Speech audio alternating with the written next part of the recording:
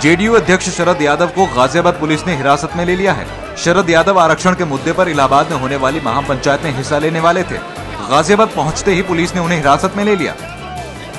वहाँ कोई पीस करते वहाँ। शांति कायम करते लेकिन वो सरकार के पास जो तंत्र है उसको ठीक खबर नहीं है। ठीक खबर के बाद भी ये है तो ठीक नहीं है।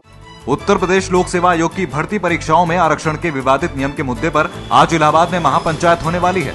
महापंचायत के लिए जिला प्रशासन ने अनुमति नहीं दी है। इसके बावजूद समर्थक इसे पूरा करने पर आमादा है।